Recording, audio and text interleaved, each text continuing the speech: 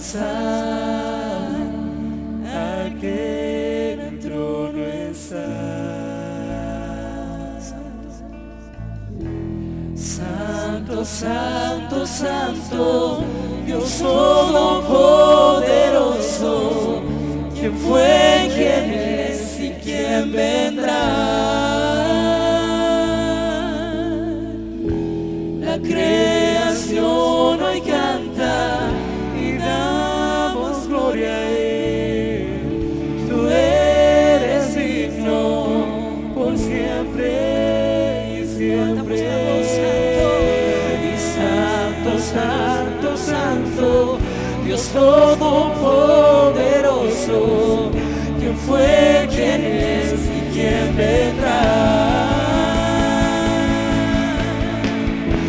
La creación hoy y da su gloria.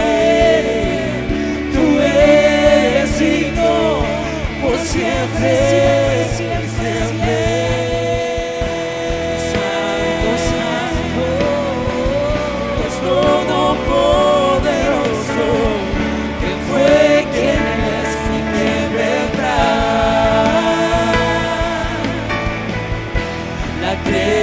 canción hoy canta y da.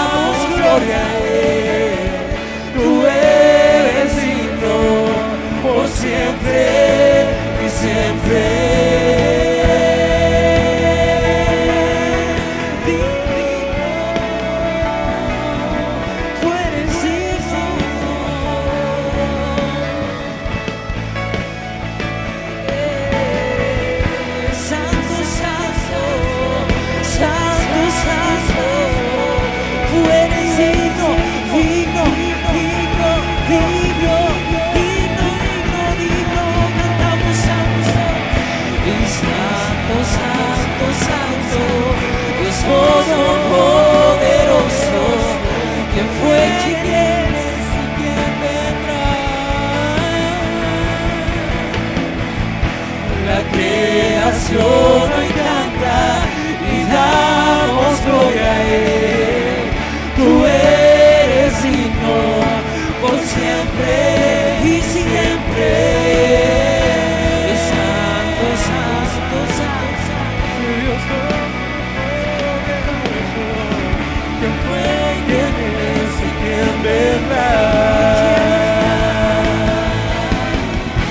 La creación no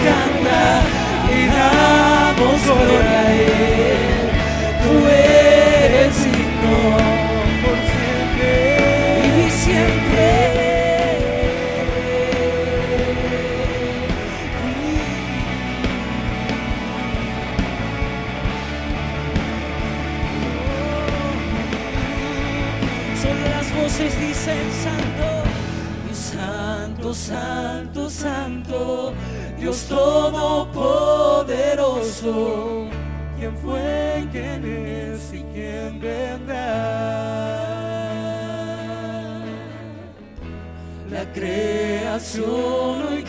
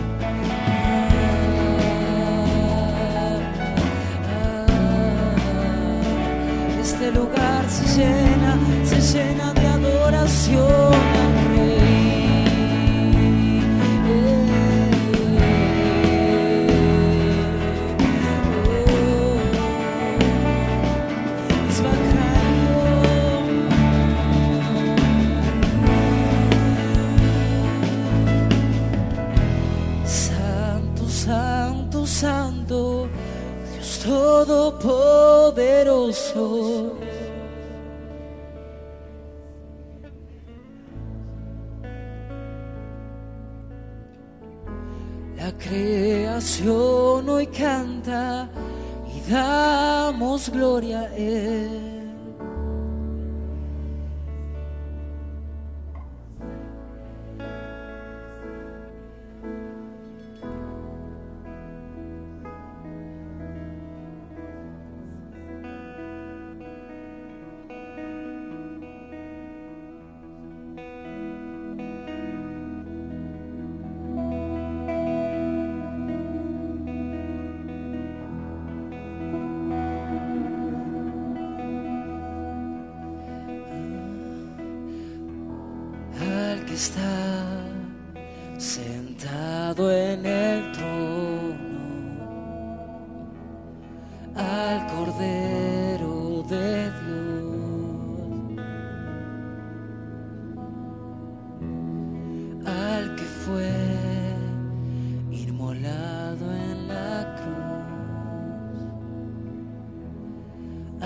Jesús el Señor.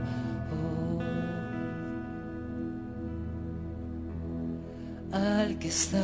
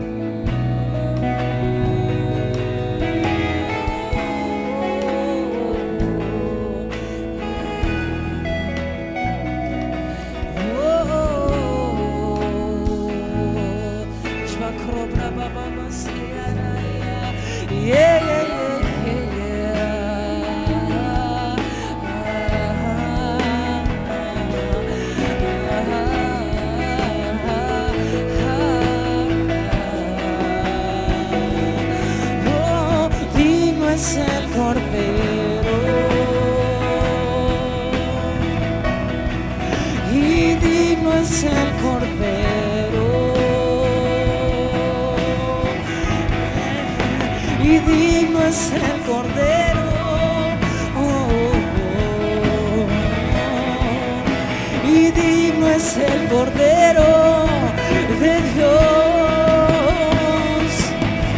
Y digno es el Cordero. Nos acercamos al trono por la sangre del Cordero. Y digno es el Cordero. Adora al Cordero, al Hijo. Adora, adora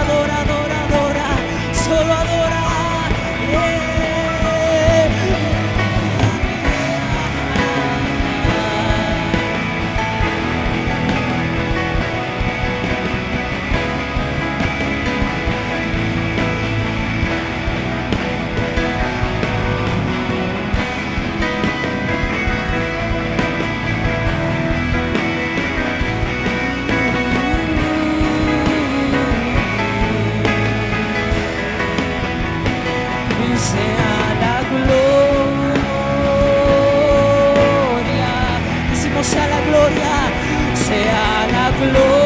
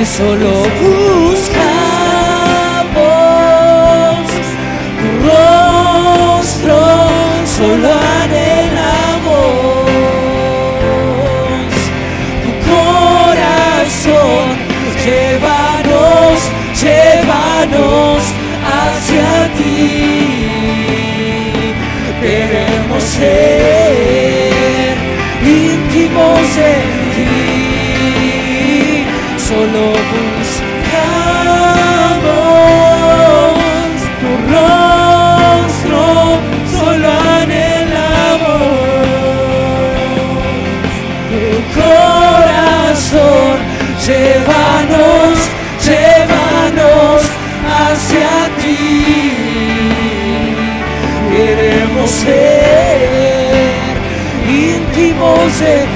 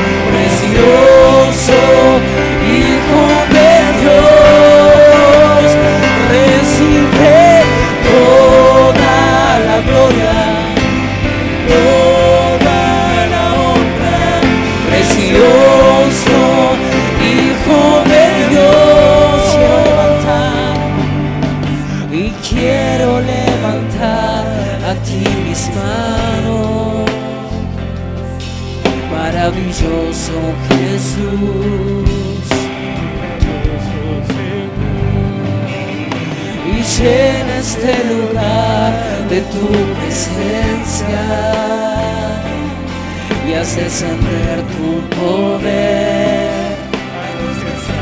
Una vez más quiero levantar a ti, yo quiero levantar a ti mis manos. Maravilloso Jesús, milagroso Señor, llena este lugar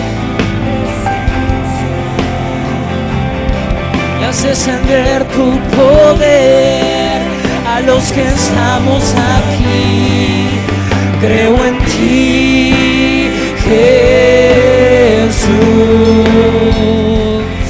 y en lo que harás en mí. Yo creo en ti, Jesús, y en lo que harás.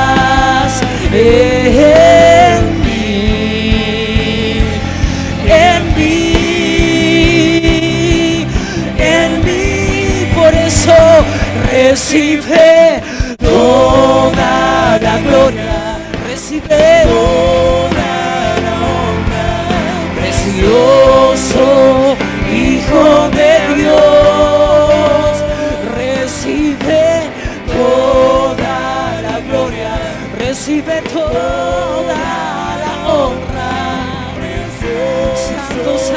santo, recibe la gloria recibe toda la gloria, recibe toda la honra. Precioso Hijo de Dios, recibe toda la gloria, recibe toda la honra, precioso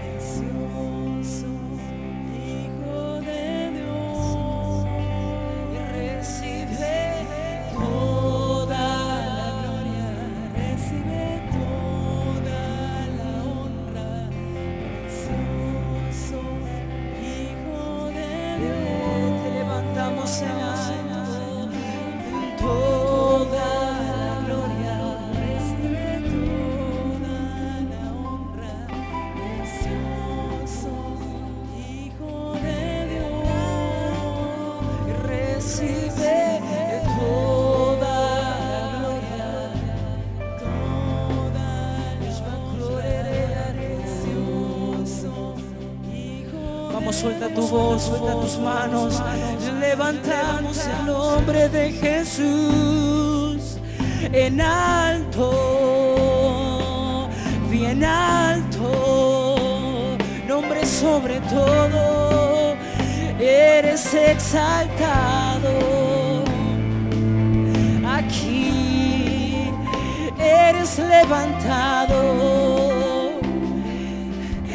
aquí, Señor, recibe toda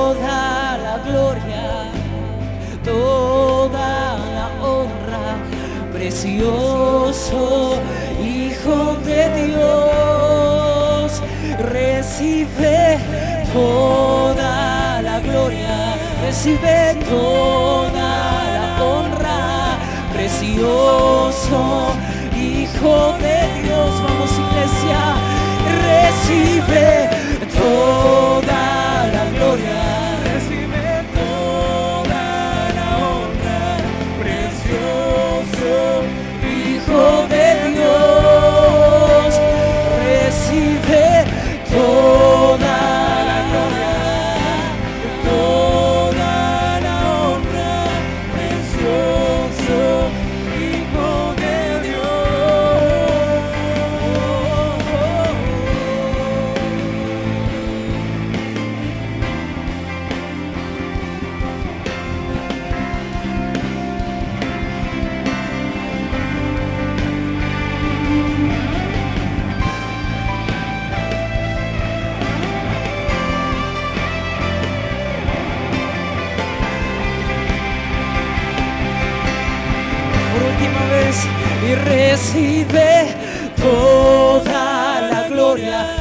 gloria, recibe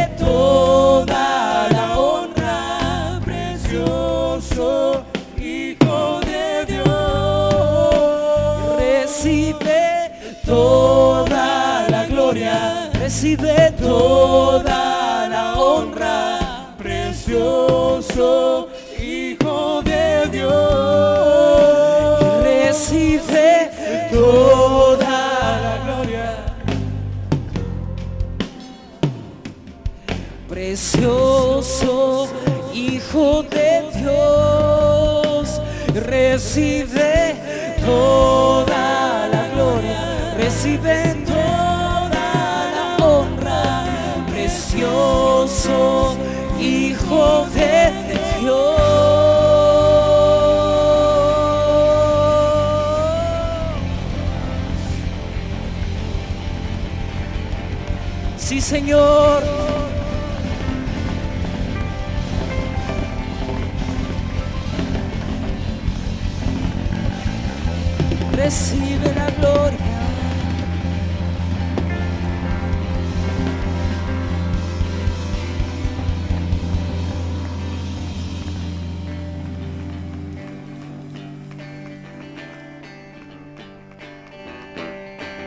Yo voy a pelear esta batalla con las armas que Él nos regaló.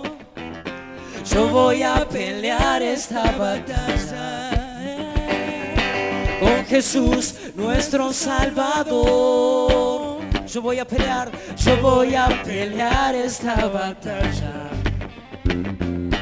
con las armas que Él nos regaló. Yo voy a pelear esta batalla con Jesús, nuestro Salvador. Por siempre, tu Señor, eres nuestro escudo, tu Señor, rompes los muros, tu Señor eres nuestro escudo, Santo de Israel, eres nuestro rey.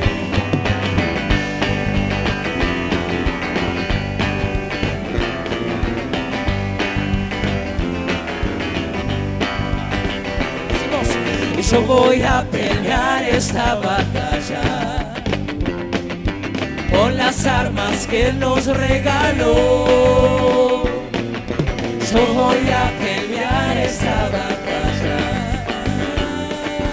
con Jesús, nuestro Salvador, por siempre, por siempre.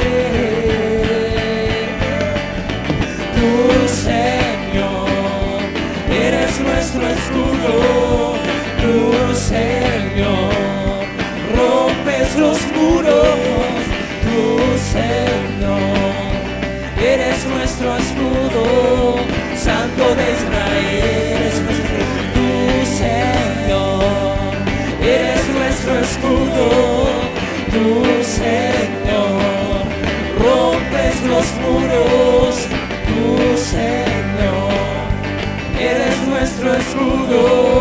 Santo de Israel, eres nuestro rey.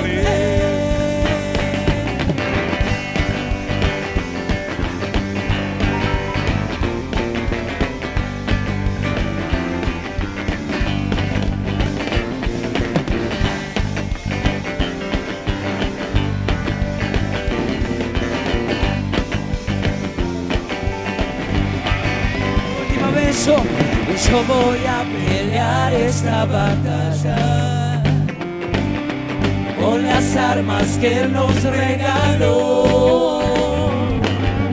Yo voy a pelear esta batalla con Jesús, nuestro Salvador, por siempre, por siempre.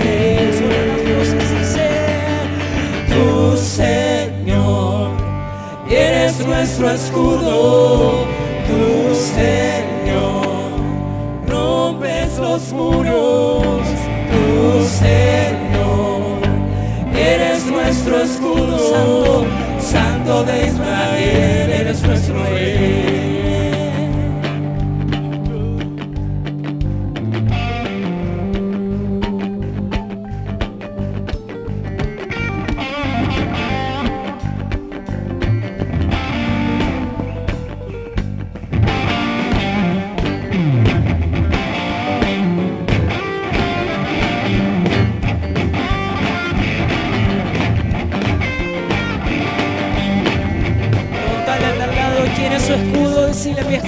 Jehová. ¿Cuántos celebran eso?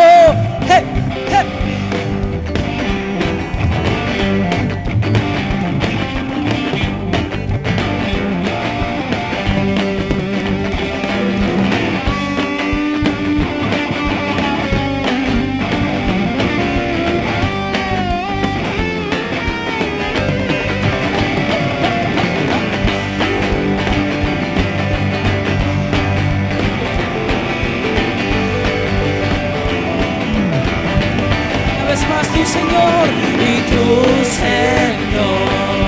Eres nuestro escudo y tu Señor.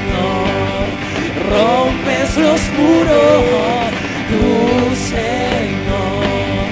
Eres nuestro escudo. Santo de Israel, eres nuestro Rey. Santo, Santo de Israel, eres nuestro Rey. Israel, eres nuestro rey.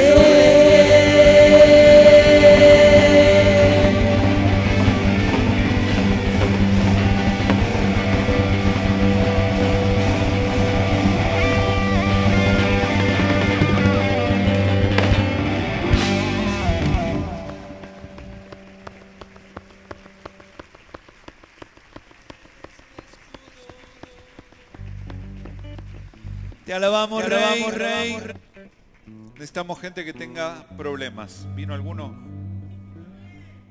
¿Sí? ¿Te animás esta noche a levantar las manos? Lo que cantamos recién es una palabra que está en la Biblia. ¿Te animás a alzar las manos esta noche? Depende abajo de la cobertura, de quién te pongas es quien te va a cuidar. Eso lo podés elegir y lo podés elegir esta noche. Elegí que Dios te cuide. ¿Sí? Alza tus manos y decirle, Señor, sé mi escudo, sé mi protección. Así que uno renuncia a ocupar ese lugar y se lo entrega a Dios esta noche. ¿Qué les parece si hacemos eso? Renunciar a estarnos por nuestra cuenta, renunciar a ocupar el lugar de ser los grandes protectores y decirle a Jehová esta noche, tú eres mi escudo.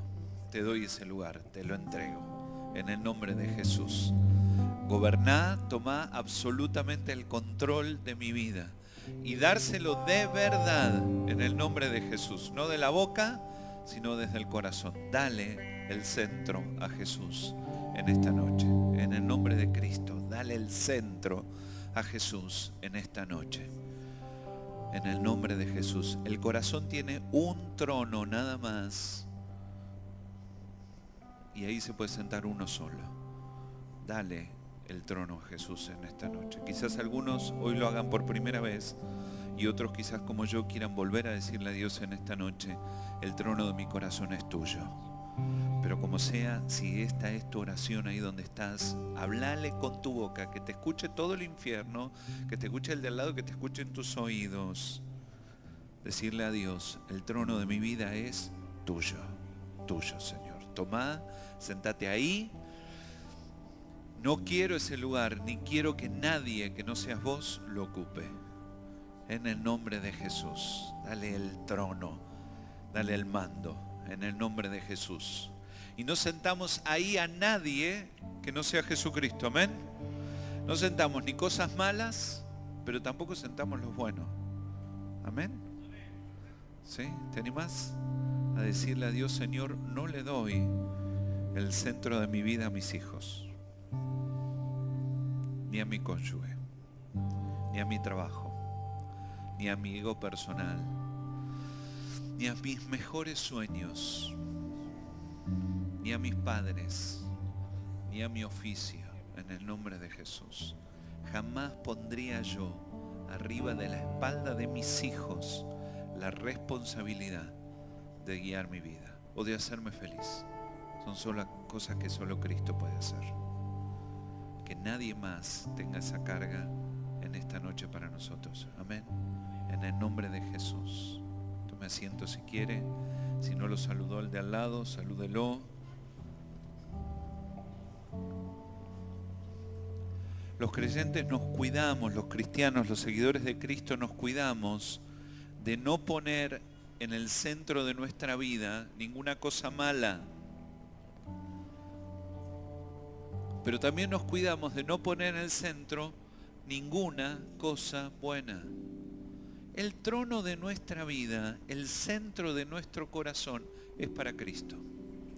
Y cualquier otro que sentemos ahí recibirá una carga que no puede afrontar. Así que nosotros estaremos comprando una frustración. No está mal amar los hijos o el cónyuge. De hecho, estamos dispuestos a dar la vida por ellos.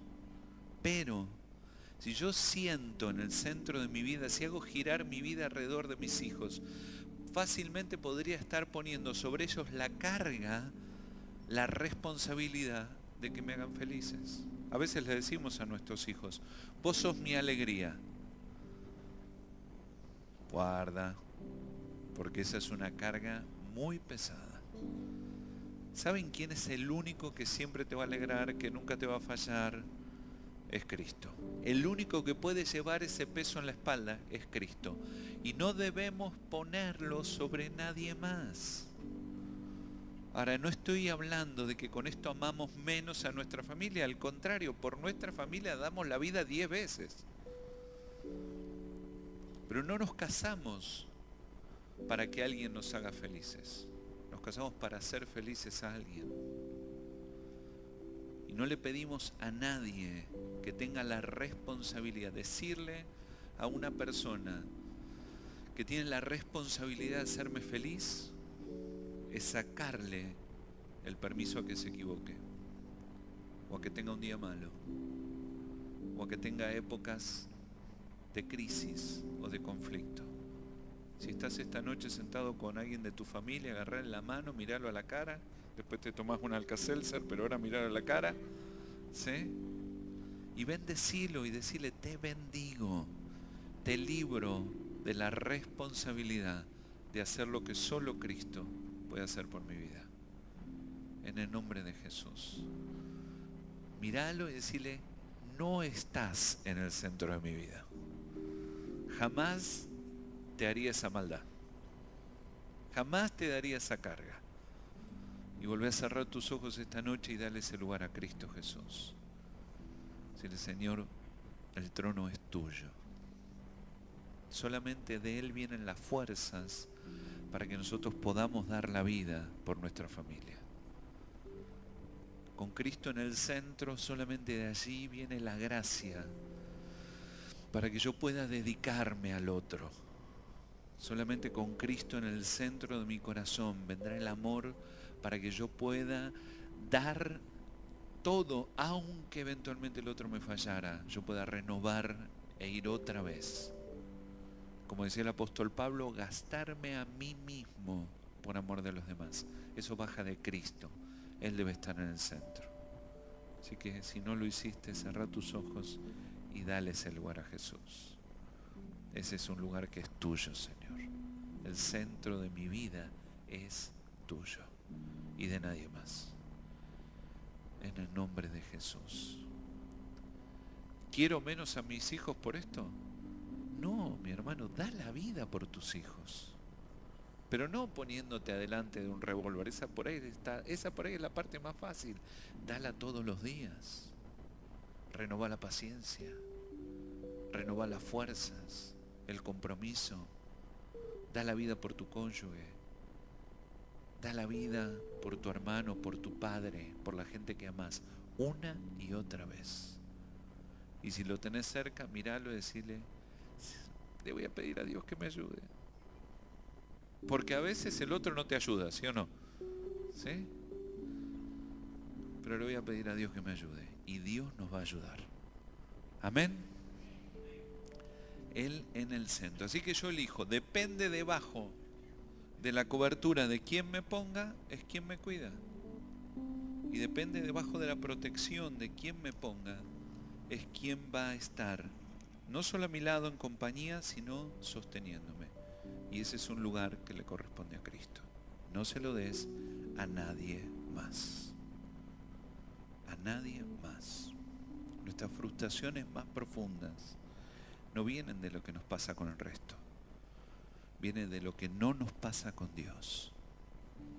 Entonces buscamos más intimidad con Dios, porque en Él hay plenitud de todo. Por eso la palabra dice que sobre todas las cosas yo le, lo tema a Jehová. Y no habla de tenerle miedo, sino de estar preocupado de caerle bien. Amén. Así dice Proverbios 21. Temed a Jehová. Estate preocupado de caerle bien. Uno está preocupado de caerle bien a la gente que ama, ¿verdad? Entonces, ¿debes tenerle miedo a tu marido? ¿Hay que tenerle miedo al marido? No. ¿Hay que estar preocupado por amarlo y por caerle bien? Sí. ¿Tenés que tenerle miedo a tu esposa? No, claramente hay que tenerle miedo a la esposa. Son situaciones diferentes, ¿sí? Pero uno está preocupado por caerle bien a aquel que ama. ¿Amas a Cristo? Entonces, estate preocupado por caerle bien. Bueno, de eso hablaba un poco el devocional de hoy. ¿Les dieron los devocionales cuando llegaron? Amados, síganlos. Espero que lo que está escrito allí les guste, pero más allá de que está, esté bueno o no lo que allí está escrito, si nosotros somos ahí ordenados en dedicarle un rato a la palabra cada día, empezar tu día leyendo la palabra, los devocionales son para ayudarnos a armarnos el hábito, que yo no pueda salir a la calle sin lavarme los dientes y sin leer la palabra. Que yo pueda hacer eso. Algunos vienen y dicen, no, pero yo leo la Biblia y no entiendo nada. No te preocupes, léela igual, porque armás, llenás un depósito que después te va a dar fruto. La Biblia está viva, la palabra de Dios está viva. Cada vez que nosotros le damos una oportunidad, va, trabaja y vuelve generando fruto. Así que dedícale todos los días un ratito. Esta, esta serie que estamos haciendo tiene el agregado de que si la seguimos en dos meses le damos una vuelta completa a la Biblia. ¿Cuántos leyeron completa toda la Biblia? Nahum, Abdías y todos esos libros raros. ¿Cuántos leyeron completa toda la Biblia? Bueno, miren, tenemos la oportunidad acá de mirar toda la Biblia en dos meses. Así que para aquellos que nunca hicieron eso, dedícale un rato todos los días. Y el devocional de hoy que hablaba sobre Daniel, hablaba de esto, de tener a Cristo en el centro. Estaba leyendo esa situación donde le piden a los amigos de Daniel que adoren al rey. Y ellos se plantan y dicen, no, no, solo Dios merece ese lugar. Así que les dicen, pero si no lo adoran, los tiramos al horno de fuego. Y entonces está esa frase genial. Dicen, mira, no lo vamos a adorar. Dios mismo vendrá y nos salvará. Y si no, no. O sea, si no, igual no lo vamos a adorar.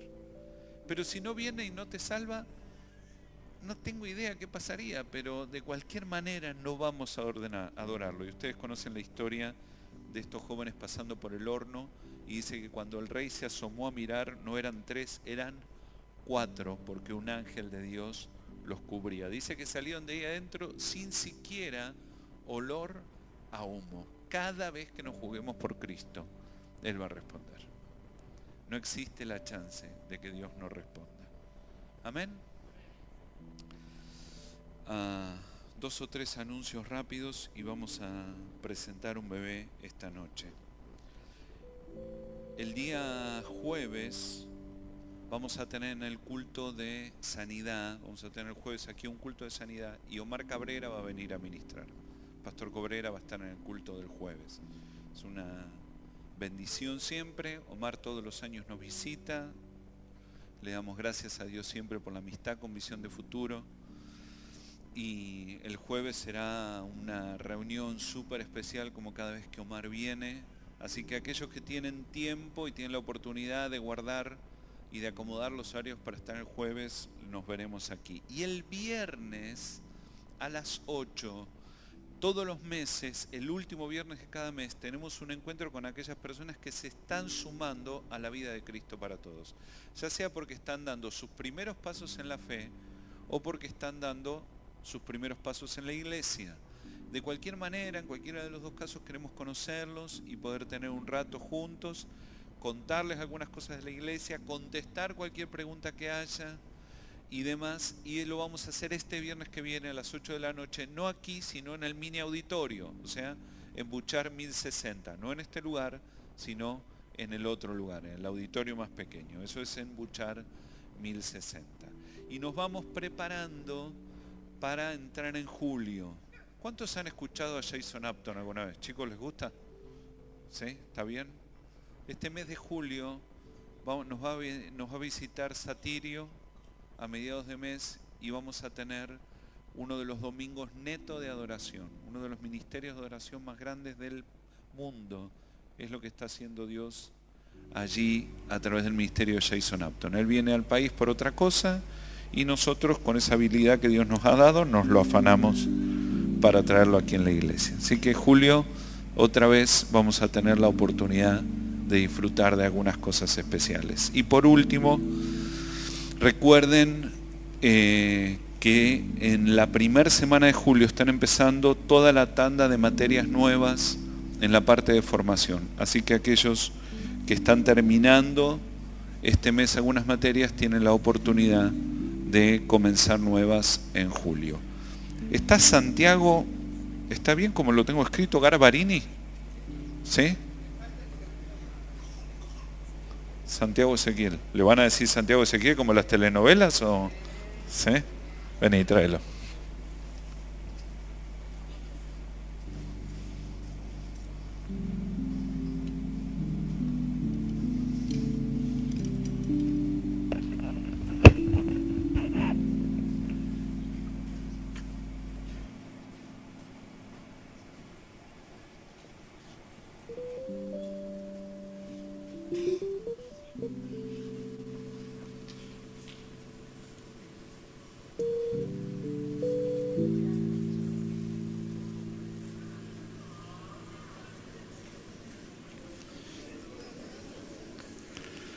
Bueno, esta es la parte que hacemos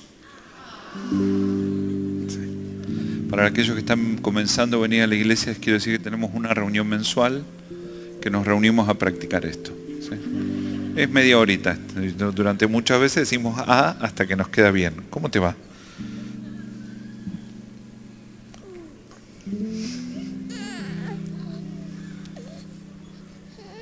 ¿Dónde me metieron?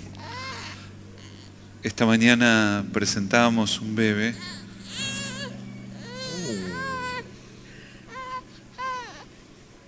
Ahí está. Tome, tome, tome, tome. Ahí está. Y decíamos que hacemos esto en el altar como una manera como iglesia de gozarnos con la familia, de lo que viven y también de bendecirlos creemos en poner nuestros hijos en el altar y creemos en no sacarlos de ahí. Entonces, esta es la oración de un día, de un rato que hacemos juntos como iglesia. Y creemos que esto es una bendición, pero nada reemplaza lo que hacen los padres cada día en su casa por sus hijos. Pone la mano sobre tu hijo, aunque tenga la edad que tenga. ¿sí? Bendecilo Ora por él cada vez que tengas oportunidad. No lo dejes de poner en el altar. Aunque esté grande y peludo, hacelo igual. ¿sí? No, pero mi hijo tiene a vos hacerlo igual. Porque esto es parte de la responsabilidad de los padres. Y esta, esta noche como iglesia hacemos algo que ellos ya hicieron como familia, que es entregarlo a Dios y dedicarlo a Dios. Y ahora como iglesia le decimos a la familia que nos alegramos con ellos. Amén y queremos respaldarlos en esto. ¿Trajeron las manos? ¿Quieren extenderlas como una señal de bendición esta noche? Gracias Señor por la vida de este varón. Te pedimos que lo bendigas al orar por él. Oramos por sus padres.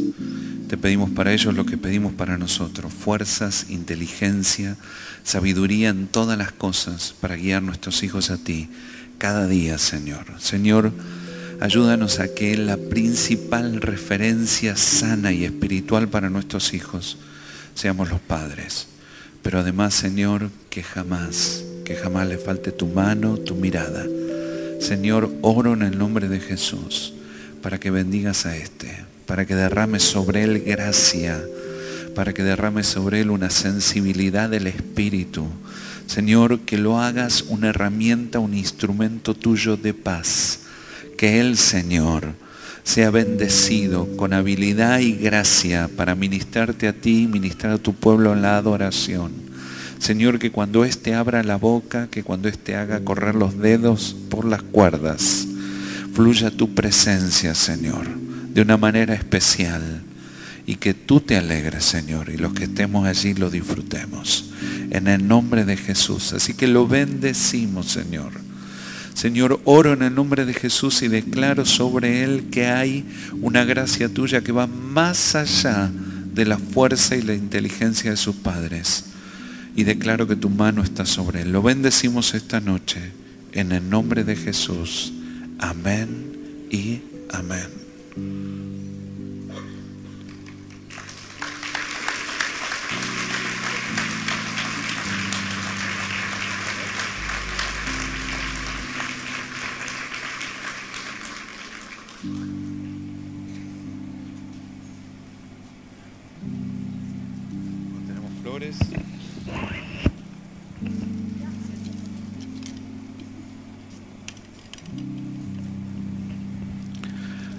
¿Trajeron sus Biblias? Vamos a Deuteronomio capítulo 10.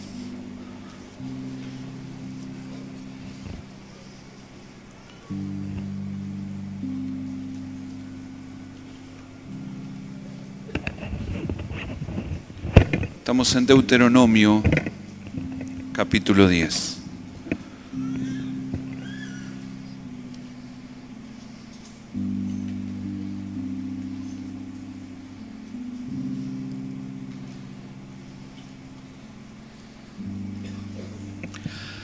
El versículo 12 es un pasaje sencillo y complicado. ¿Cuántos cuando compran algo leen las instrucciones solo cuando el aparato falla? ¿Cuántos hacen así? ¿Cuántos han guardado manuales de aparatos que nunca leyeron? ¿Sí? ¿Cuántos tienen botones en su reproductor de DVD que no saben qué hace? ¿Cuántos miran el control remoto de la tele y dice, ave, ¿qué será? ¿Sí? ¿Cuántos les ha pasado esto, no? Entonces, la verdad que hay una, una virtud que tiene que estar en el creyente y es saber seguir las instrucciones. ¿Sí? Saber seguir las instrucciones. Saben que la Biblia considera que la inteligencia es importante y nos, nos invita a que si nos falta, le pidamos a Dios más, dice que da abundantemente y sin reproche, es decir, no la cobra, es gratis. Y estamos invitados. Yo creo que nosotros usamos menos neuronas que aquellas con las cuales Dios nos diseñó, pero también creo que podemos orar y pedirle a Dios que nos ayude a activarlas. Así que creo que de ahí es parte, no es toda, pero es parte de la manifestación de la inteligencia. Y haremos bien en pedirle a Dios que nos ayude con eso. La inteligencia en la Biblia está valuada. También está valuada en la Biblia, por ejemplo, la fuerza, lo que se considera algo valioso. Se considera valioso ser emprendedor y se considera valioso no conformarse. Dígaselo al de al lado, no te conformes. Con lo que no te gusta, avanza. Pero una de las cosas que se considera más valiosa en la Biblia es ser obediente, seguir las instrucciones. Y es una cosa que no depende ni de las fuerzas, ni de la inteligencia, ni de ninguna otra cosa, más que de simplemente seguir las instrucciones. Les quería pedir, por favor, si para hacer esto se pueden poner un momento de pie.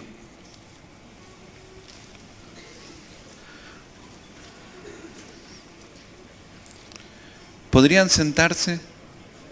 No es tan difícil, ¿no? ¿Vieron que no es tan difícil? ¿Sí? No es tan difícil. Creo que todos los cristianos tenemos grandes chances de que nos vaya bien porque obedecer no es tan complicado. Seguir las instrucciones seguí esta ruta, vas para allá, agarra esta ruta y dale. Y no hagas lo que te parece. Cuando uno llega a una rotonda y agarra lo que le parece, ¿qué es lo que suele pasar? Agarrar el lugar equivocado. Pero sin embargo, cuando uno tiene las instrucciones claras y las sigue, seguramente voy a llegar a destino. La Biblia es un manual de instrucciones. Dios que te fabricó dejó el manual escrito que dice cómo vas a funcionar mejor y haciendo qué cosas el aparato que tenés al lado va a funcionar mejor y va a dar menores, mayores resultados. Aclararle que lo de aparato es una figura, ¿sí? Pero ¿cómo haríamos para funcionar bien? Sé obediente, seguí las instrucciones.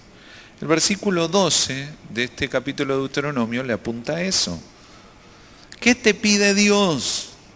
Simplemente que estés, como decíamos antes, que estés preocupado por caerle bien y andes en sus caminos, que lo ames y lo sirvas, que cumplas los mandamientos, que sigas los preceptos. Pero, ¿cómo hago yo para entender cómo es? No, no es muy difícil, simplemente seguir el camino marcado.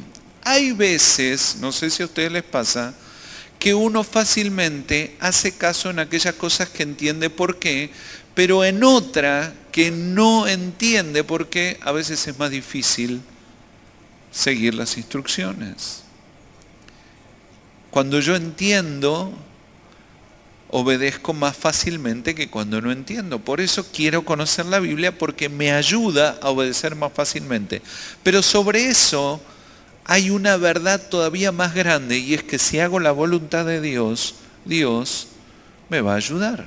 Hace unos años, creo que alguna vez lo conté, estaba en mi oficina y entonces Dios me habló y me dijo, llamalo a Mariano, que era un chico que estaba internado en la comunidad de recuperación de adictos, y decirle que no se vaya.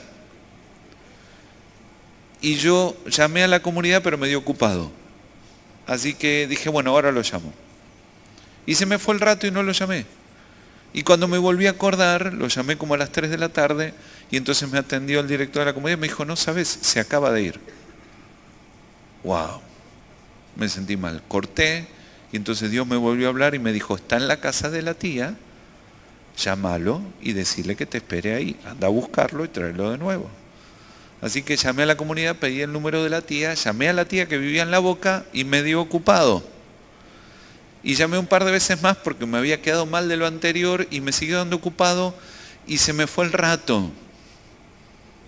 Y llamé como una hora y media, dos horas después y finalmente me atendió la tía. Y cuando me atiende me dice, se acaba de ir. Y ya me sentí mal por segunda vez en un día. Así que Dios me volvió a hablar y me dijo, se fue a Concordia. Anda a buscarlo. ¿Vieron? Cuando uno no le hace caso a Dios de una, siempre después es más caro. Así que llamé de nuevo a la comunidad, me conseguí el teléfono de la mamá en Concordia y llamé a Concordia, pero Mariano obviamente todavía no había llegado, así que la madre medio trató medio como que estaba loco.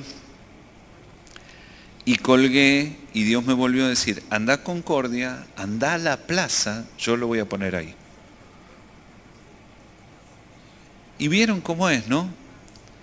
Cuando Dios nos pide cosas difíciles, ¿qué pedimos nosotros? Confirmación. Si Dios me dice, te bendeciré y te, voy a bendecir hasta que te chorree por las orejas, nosotros qué decimos? Amén. Pero cuando Dios me manda a hacer un laburo, ¿qué decimos? Voy a orar para que Dios me confirme. Así que yo estaba con todo eso, esa noche había culto, era un jueves, y cuando estaba en medio del culto me encuentro con otro hermano y me dice, che, ¿sabes que estuve orando todo el día por Mariano? Y me sentí como David cuando le dice a Dios, me perseguís a todos lados, ¿no? Y entonces le conté, le dije, vos sabés, le conté toda la historia y me dice, ¿y Dios qué te dijo? Que me vaya a Concordia, que lo voy a poner en la plaza. Entonces me dice, a la mañana te paso a buscar y nos vamos a Concordia. 700 kilómetros Concordia. Rompimos el parabrisas, porque siempre obedecer de una es más barato. Así que llegamos a Concordia. ¿Usted dónde habría ido? Yo fui a la casa de la madre, obviamente. Y cuando llegué a la casa de la madre, ¿qué me dijo la madre? Se acaba de ir.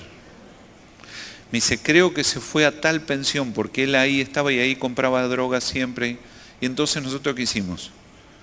Nos fuimos a la pensión, nos corrieron, salimos una situación que nos guardó Dios. Y cuando íbamos en el auto totalmente confundidos, endeudados, porque habíamos puesto la tarjeta para pagar el parabrisa, este hermano me dice, pero Dios qué te dijo? Que vengamos a Concordia y que vayamos a la plaza. Entonces me dice, ¿por qué nos vamos a la plaza?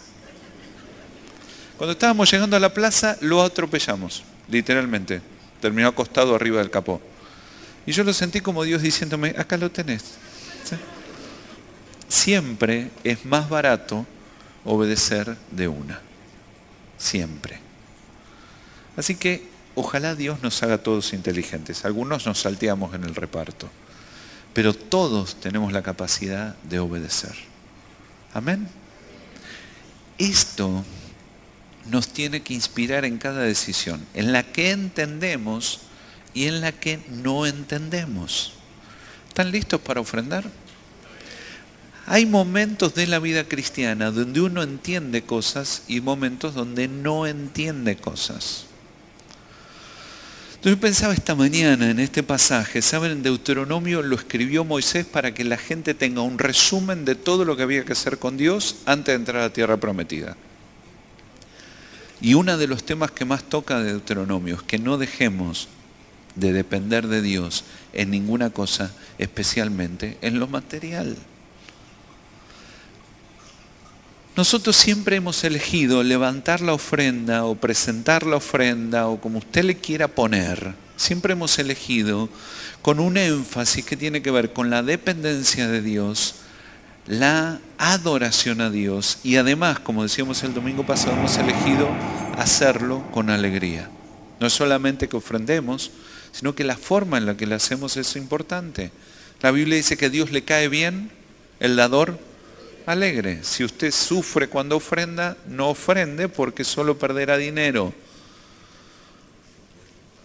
Pero nosotros tenemos que saber que cada vez que damos un paso de fidelidad tendrá recompensa. Mi fidelidad no desata la fidelidad de Dios, porque Dios ya es fiel de antes. Pero cada vez que yo doy un paso en la instrucción de Dios, me irá bien. Te quiero desafiar y me quiero desafiar esta noche a la práctica de eso que dice la palabra. Todo lo que el hombre siembra se cosecha. Que nosotros seamos gente que entendemos la importancia de obedecer a Dios. Hace unos años, y esto que voy a contar no quiere decir que usted lo tiene que seguir, fui a hablarle a Mari para contarle que a causa de unas deudas que teníamos no llegábamos a diezmar porque teníamos que pagar una cuenta en el Galicia. Y entonces mi esposa me dijo, mira, entre endeudarnos con el Señor Galicia y endeudarnos con el Señor Jehová, me dice, vamos a endeudarnos con Galicia. Y como les acabo de confesar, le tengo miedo, decidí que eh, iba a ofrendar. Esa semana fui a hablar con la gerenta del banco para explicarle que me iba a atrasar en algo y que en algún momento iba a regularizar y cuando ella controló mi cuenta me dice, no, pero alguien lo pagó ayer.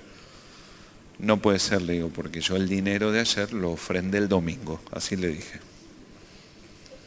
Entonces me dice, bueno, no sé, me dice, pero acá alguien pagó esto ayer.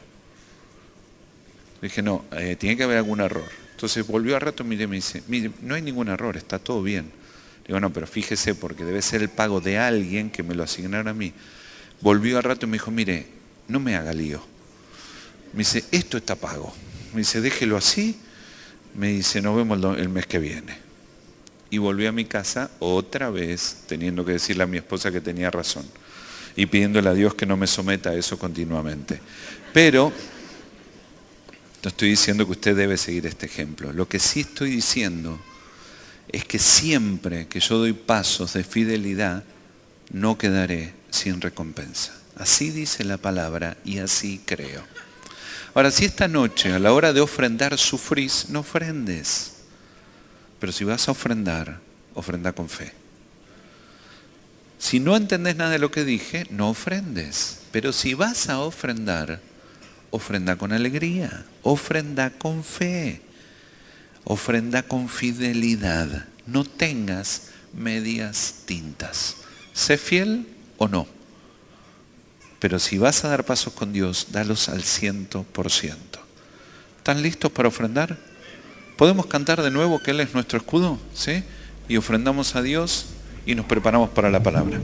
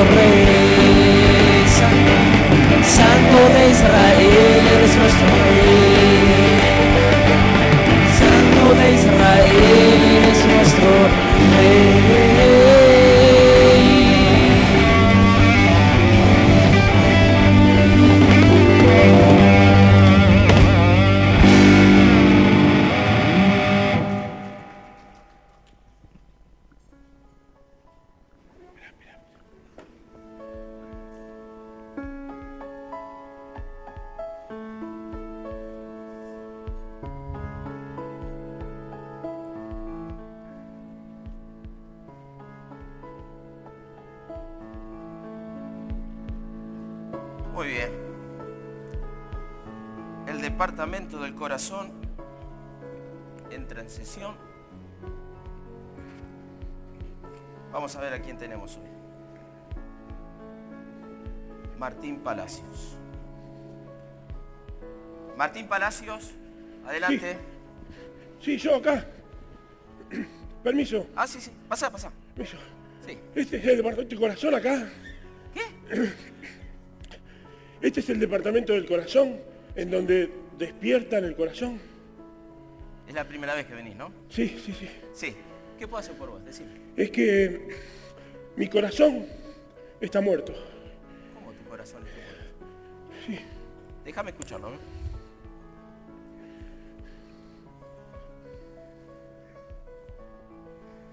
¿Y, y doctor? Esperá, esperá un poquito.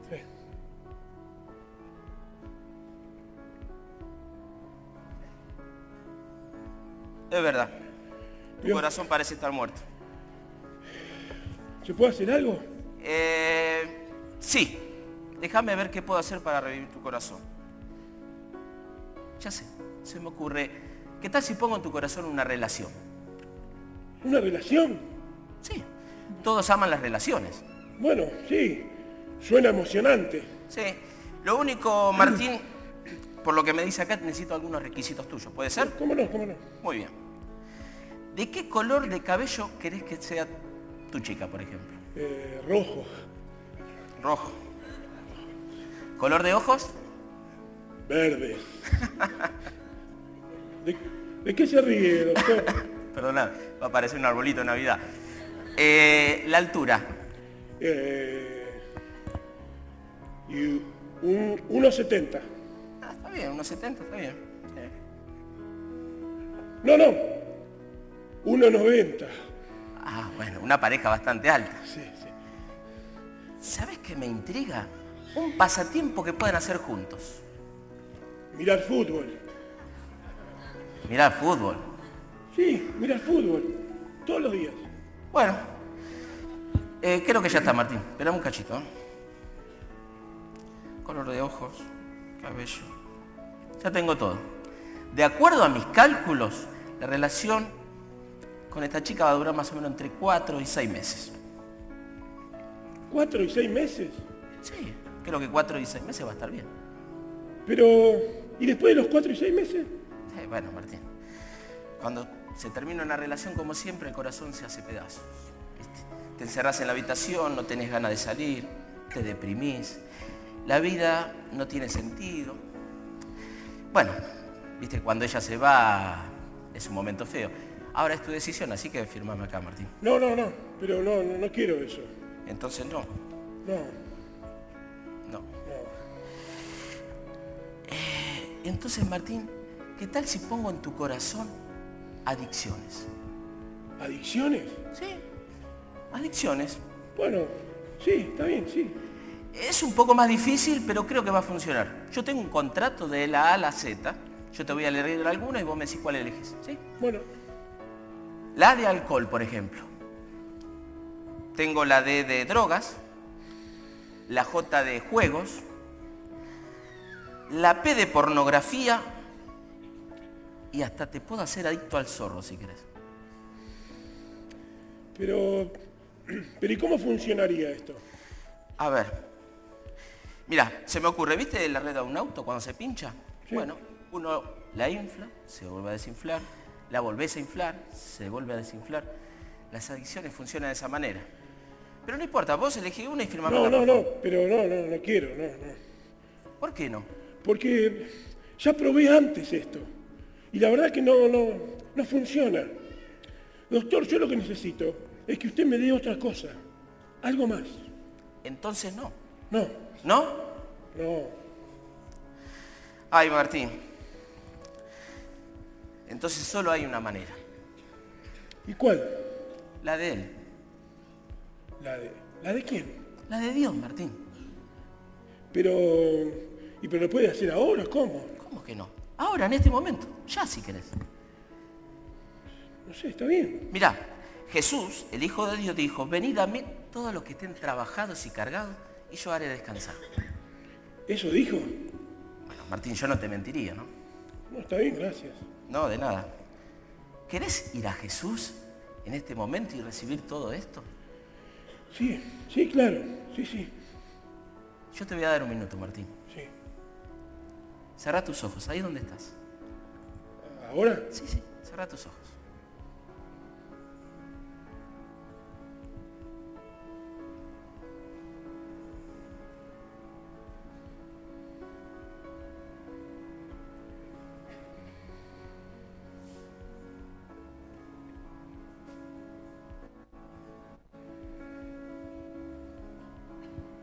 ¿Y Martín? ¿Cómo te sentís? Creo que igual. Pero lo que tengo es una paz que, que no sé cómo explicársela. Es así como funciona, Martín. Cuando uno va a Jesús y está en su presencia, recibe eso que uno no puede explicar. Mirá, Martín, la vida no es una carrera rápida, es una maratón. No importa empezar fuerte, Martín. Lo importante es llegar fuerte. Mirá. Déjame darte esto. Esto que vos ves es el manual de instrucciones para tu corazón. Una Biblia. Sí, Tengo una, creo, en mi casa. pero yo quiero regalarte esta, ¿puedo? Sí, bueno, gracias, doctor. No, de nada, Martín. Y escúcheme, ¿cuánto le debo? No, todo esto es gratis. ¿Gratis? Sí, Bueno, bueno, gracias, ¿eh? no, chao, Martín. Ah, doctor, Sí. Una preguntita. ¿Hasta dónde tengo que leerla? Simplemente hasta que veas que tu corazón está contento.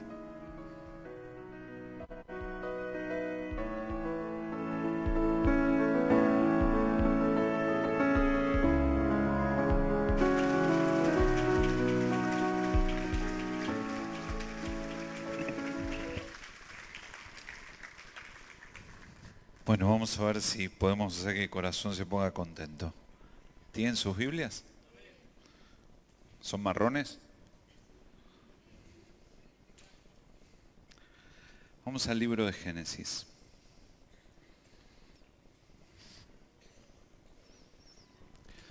La Biblia dice que Dios es un Dios generacional. Por siglos cuando Dios se encontraba con alguien y se tenía que presentar, se presentaba como el Dios de Abraham, Isaac y Jacob.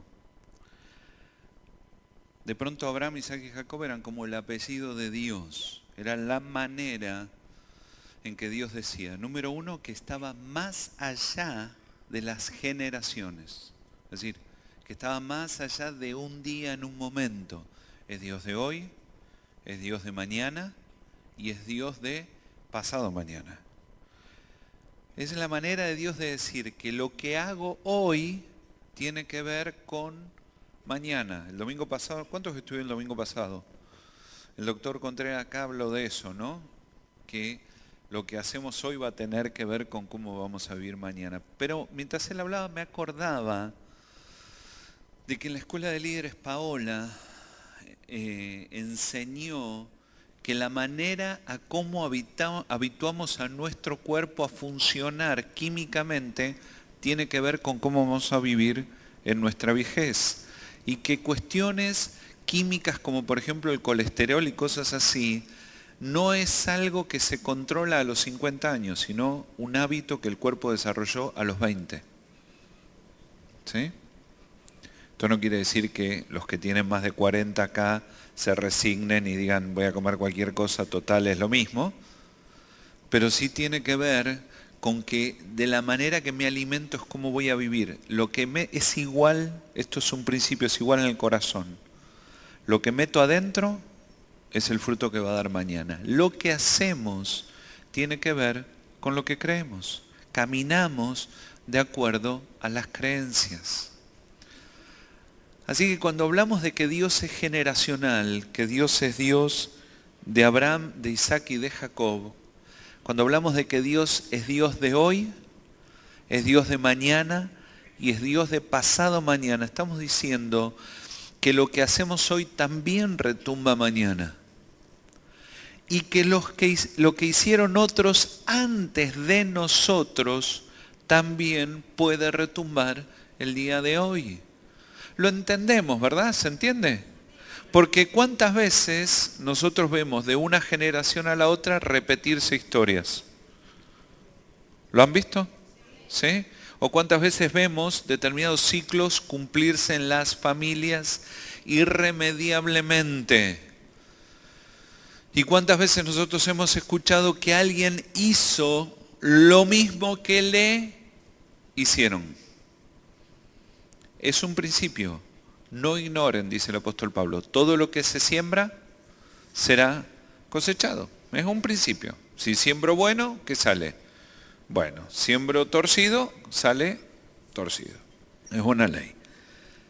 Cuando Dios habla, por ejemplo, cuando le habla a Abraham en el capítulo 12 y le dice, yo vengo a bendecirte a vos, pero a partir tuyo voy a levantar un pueblo y bendeciré todas las familias de la tierra, es Dios otra vez diciendo que lo que Él quiere y lo que Él hace no se limita a un día, a una persona, a un lugar, sino que lo que Él hace tiene que ver con hoy y tiene que ver con mañana. Las cosas que hacemos nosotros también tienen que ver con hoy y con mañana. Por favor, sacúdalo al de al lado, recuérdele esto, no importa la edad que tiene. Si el de al lado tuyo tiene canas o está perdiendo el pelo o cosas por el estilo, ya se dio cuenta. Pero si el de al lado tuyo tiene cara de joven, Sacudilo particularmente, ¿sí? Chicos, sacudan al de al lado, golpéenlo en el nombre de Jesús, con cariño. Y recuerden, lo que haces hoy tiene que ver con el día de mañana. Esto es un principio, siempre será así. Hay una sucesión de cosas de las que quiero ir rápido porque ya he predicado esto alguna vez, que se ve, este principio se ve en todas las historias de la Biblia. Yo lo quiero ejemplificar en Abraham, Isaac y Jacob por tres cosas. Primero porque para mí son los padres de la fe, no de la fe judía, de la fe. Cuando Jesús les habla a sus discípulos varias veces, le habla de nuestro padre Abraham. Y como hablábamos el día aquí de la Eucaristía de Semana Santa, hablábamos del concepto de que cada uno que abrazamos a Cristo somos incluidos en el pueblo de Dios y tenemos parte y tenemos que ver con esa cosa llamada pueblo de Dios que nace de las espaldas o de los lomos, para usar un término bíblico, de Abraham. Así que el primer motivo por el cual lo quiero ejemplificar con Abraham, Isaac y Jacob es por esto. La segunda cosa es para mí, son fenomenales. Para mí Abraham, Isaac y Jacob, especialmente Abraham, son tipos fenomenales. Para mí viene Superman, San Martín, Abraham. Para mí Abraham no usaba capa, pero andaba por ahí. Son tipos enormes, son héroes de la fe. Así que es el segundo motivo por el cual lo quiero elegir. Y el tercer motivo por el cual quiero elegir a Abraham, Isaac y Jacob es porque de ahí parte todo. De ahí arrancan todas las cosas, las tribus, la formación del pueblo de Dios, los principios, las herencias de bendición nacen allí.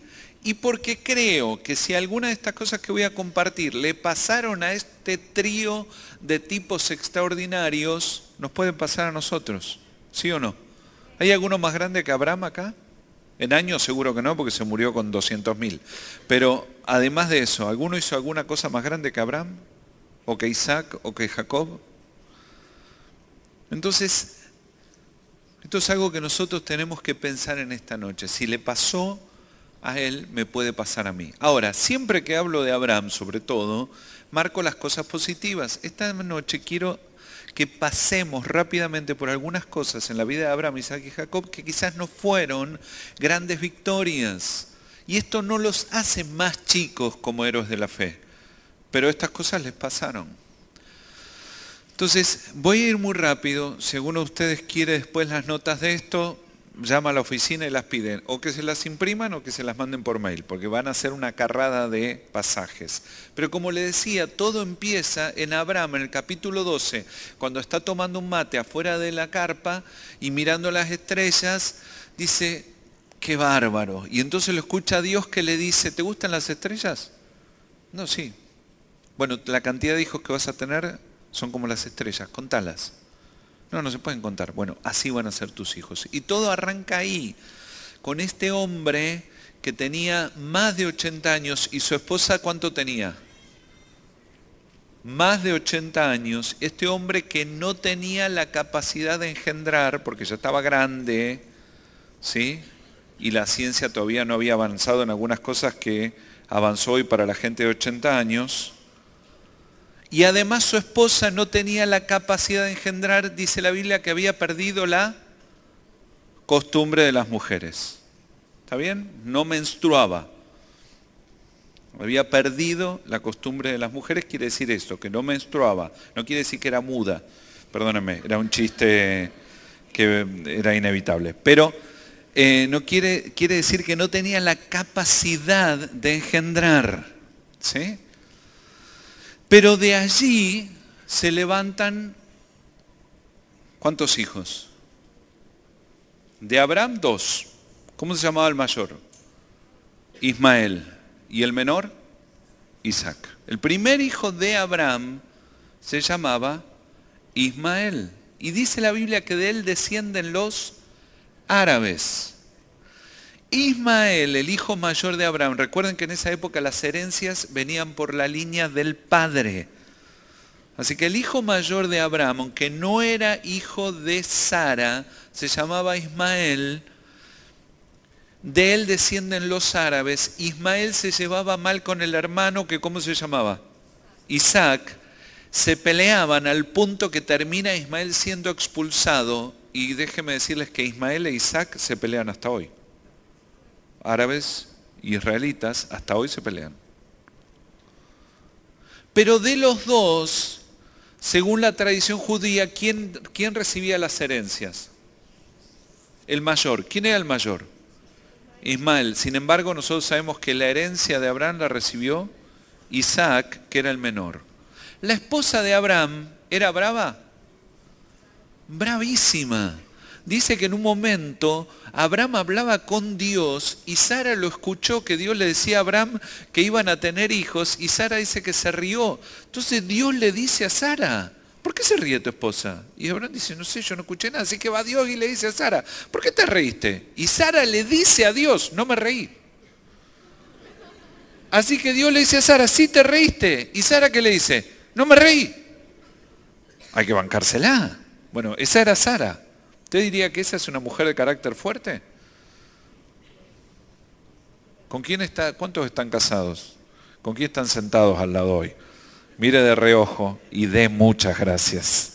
¿Sí? Pero este era el formato con el que lidió Abraham. Además, originalmente su esposa era estéril, no podía engendrar. El que recibe la herencia de Abraham dijimos que se llamaba Isaac. ¿Alguno se acuerda cómo se llamaba la esposa de Isaac? se llamaba Rebeca, la cual la Biblia dice que también era estéril y que necesitó un milagro de Dios para concebir.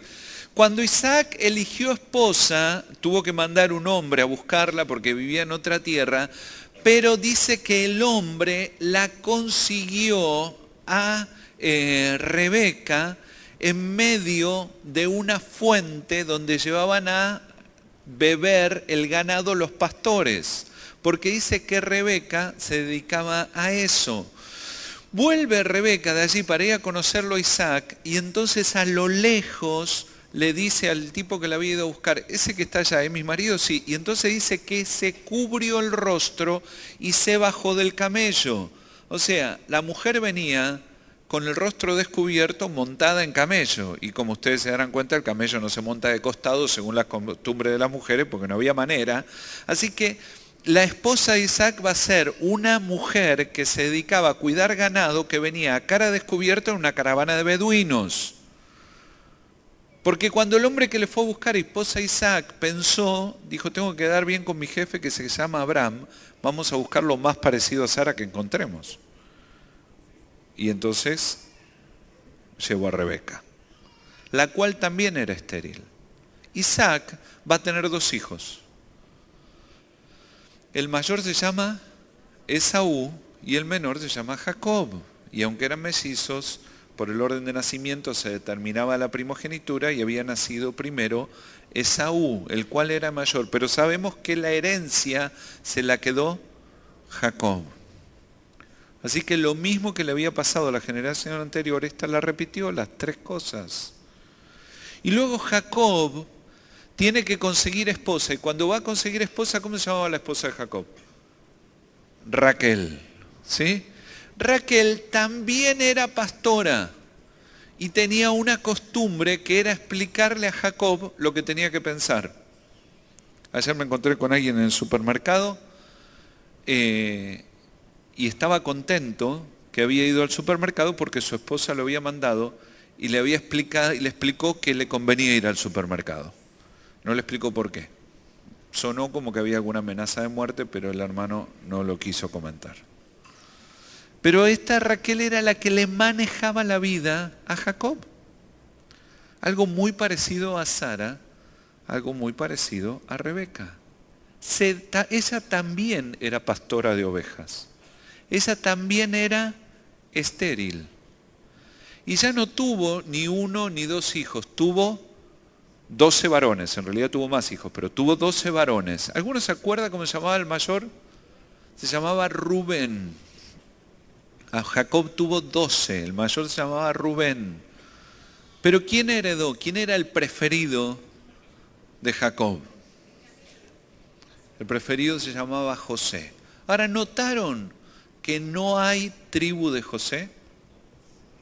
Notaron que hay 12 tribus que tienen 12 nombres, pero ninguna se llama José. ¿Tienen sus Biblias? Vamos al libro de Génesis, al capítulo 48. Si una generación no se cuida, repetirá lo de la anterior. Nosotros somos gente que por conocer a Cristo tenemos que entender que existe un mundo espiritual y que lo espiritual manda, que las cuestiones espirituales determinan lo que pasa en la tierra. Cindy tenía una frase, ¿verdad? Que decía que lo que pasa en el aire gobierna la tierra. Recién charlábamos un rato con uno de los jóvenes líderes de la iglesia y hablábamos de esto. ¿Cuántas veces las decisiones son tomadas no por la lógica o por la inteligencia, sino por cosas como por ejemplo la pasión, las sensaciones y cuestiones por el estilo? Y si una generación no se cuida, repetirá lo que le sucedió a la anterior. Esto es una responsabilidad mutua. Yo tengo la responsabilidad de no pasarle a la siguiente generación las cosas que a mí me dolieron. Y la siguiente generación también tiene la responsabilidad de que si yo le paso alguna, no recibirla. Uno tiene la responsabilidad de no repetir historias y de luchar porque la siguiente generación arranque un paso delante mío. Y no es solo en lo material. Déjenme decirles que por ahí lo más fácil es lo material. Es fundamentalmente en lo emocional y en lo espiritual. Lograr que la siguiente generación a nosotros nos supere tendrá que ver con que arranquen de más adelante. Es decir, que aquellas cosas que puedo haber aprendido valioso, logre transmitirlas y imponerlas no es transmitirlas. Lograr que aquello que superamos sea un territorio ganado para la familia y no solo para la vida personal lograr que aquello que superamos en lo personal pudiera ser inspirador para el siguiente, pero para eso hay que ser transparente y contarlo. Es una responsabilidad de una generación, de una iglesia, que la siguiente generación nos supere porque arranque de más adelante que nosotros. Y que nos supere no es que sean más personas, sino que logren hacer cosas de mayor influencia y de más trascendencia. El liderazgo de la iglesia siempre tiene que estar pensando cómo pone a la siguiente generación en una posición mejor que la que tenemos hoy. ¿Me siguen? A veces esto es complicarse. A veces esto es hacer cosas que nos dificultan la vida. Pero para que algo mejore, siempre en el medio habrá dificultades. Cada vez que hacemos una reforma, ¿saben lo primero que habrá? Escombros. Pasamos un verano en casa complicadísimo con los albañiles. Y bueno, no, muy complicado. Mi esposa lo pasó complicado porque yo, gracias a Dios, justo tuve un viaje al mismo tiempo que entraban los albañiles. No digo que lo armamos así a que salió así. Así que mm, tristemente no pude estar mientras los albañiles rompían todo y demás, y Mari limpió todo sola. Ahora en el próximo viaje voy a llamar a los albañiles de nuevo. Pero el otro día nos sentamos y, le, y hablábamos y decía, Maru, esta es la última ventana que nos falta cambiar y ya la encargué y todo, mirá, y va a quedar lindo. Y fíjate, por fin después de años vamos a tener todas las ventanas iguales en la casa. ¡Uh, qué genial! Y lo siguiente me dijo, y hay que romper todo. Sí, pero mirá qué bueno que va a quedar.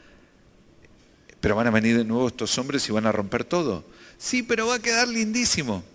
No, pero antes hay que romper todo. ¿Vieron? no hay mejora sin escombros. Cada vez que queremos generar una mejora, lo primero que habrá son escombros. Construir es incómodo.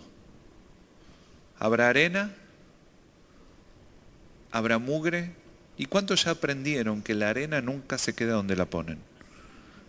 Es un elemento vivo, ¿vieron? Entonces, si yo la dejé afuera, ¿cómo es que la tengo en la cama? No sé cómo es, pero la arena está viva y se mueve por la casa. ¿sí? Pero al igual que el trabajo que se toma Dios en nuestra vida, el final siempre genera alabanza. Pero en el medio está el trabajo. Uno quisiera que las cosas sucedieran sin niveles de esfuerzo muy complicados. Pero saben, no sucede así. En Génesis capítulo 48 hay un encuentro de Jacob con su hijo preferido que se llamaba José. José en la Biblia representa la generación que está dispuesta a complicarse o a negarse o a saltearse a sí misma para beneficiar a la siguiente. ¿Por qué no tenemos tribu de José? A pesar de que José era el preferido de Jacob, lo vamos a leer ahora.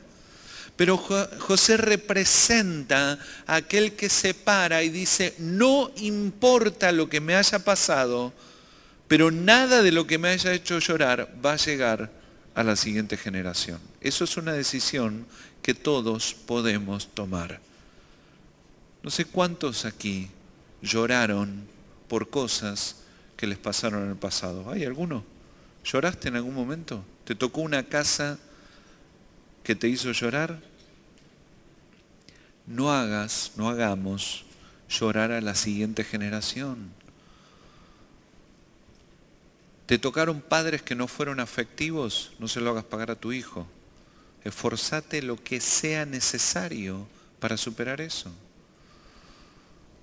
¿Te tocó una casa donde no te sentiste parte? Haz lo que haga falta para que tus hijos no acarreen eso. ¿Te tocó convivir con un matrimonio de tus padres que se desencontró? ¿Se te provocó una desconexión con tus padres? Haz lo que esté en tu mano y en tus fuerzas para que a tus hijos no les pase que tus hijos te miren el día de mañana y vos te puedas parar y decir, me salió, no me salió, pero lo que sé es que no me guardé nada. Puse todo. Dentro de lo que me daba el corazón y la cabeza, puse todo, no me guardé nada. Esas decisiones son decisiones que todos podemos tomar. Yo me puedo justificar toda la vida en qué cosas que hago o no hago es por lo que me hicieron o lo que no me dieron. Y alguien va a escuchar mis argumentos y va a decir, y la verdad, que después de haber nacido en la casa de los Adams, ¿cómo no iba a salir así? El papá se llamaba Homero Simpson, bastante derecho salió. Y alguno escuchará la historia y podrá comprenderlo, pero nunca delante de Dios eso va a ser suficiente, porque nosotros conocemos al Dios que tiene todo poder, que hace todas las cosas nuevas, que tiene la capacidad de hacerlo todo. El proceso es que uno se desprende de lo viejo y abraza lo nuevo. Amén. ¿Sí? Así que uno se saca la ropa que no va y se pone la que sí va. Amén. Ese es el proceso. El proceso es no justificarnos. Dígaselo al de al lado, no te justifiques. No te justifiques porque tu Dios con lo que sea que estés luchando te puede ayudar. No te justifiques. José, ¿cuántos han tenido lío con los hermanos? Bueno, los hermanos de José se calentaron tanto que lo vendieron como esclavo. Espero que a ninguno acá le haya pasado eso. Pero José está en esta posición después de que los, los hermanos por celos lo vendieron como esclavo, le hicieron creer al papá que estaba muerto, tipo terminó en Egipto, en el medio de todo eso estuvo 11 años preso y finalmente la mano de Dios lo pone como ministro de gobierno del imperio egipcio. Pasa de ser un preso repudiado por su familia a ser el segundo hombre más importante del mundo. Y entonces allí está José y finalmente el padre llega a Egipto y los hermanos llegan. Yo no sé cuántas veces habrá soñado José contener a los hermanos adelante y prenderlos fuego en holocausto. Pero yo me imagino que el tipo mientras estuvo esos 11 años presos habrá mascullado mil veces diciendo estoy acá por culpa de mi hermano Rubén que me vendió esclavo y mi hermano Judá que no me defendió lo suficiente. Y de pronto llega el día donde Él los tiene a todos adelante y tiene la autoridad para hacer con ellos lo que quieran. Cuando una persona fue herida, muchas veces la escuchamos decir como que hay un Dios, que nada queda sin castigo, ¿no? No, Dios es justo, Dios es justo, ¿qué quiere decir? Que los que me hicieron mal cobran. ¿Sí? Ahora de pronto José no solamente tiene ese pensamiento, sino que los tiene adelante. Y la primera decisión que toma es no castigarlos. Es que el abuelo se había peleado con el hermano por quedarse con la herencia. Es que además los padres se habían peleado entre sí por quedarse con el primer lugar es que él sufrió los efectos de todo eso y ahora mira a los hijos y decide que de él no pasa. Dígalo conmigo, de mí no pasa. Así que se despoja de ropa vieja y se viste de ropa nueva.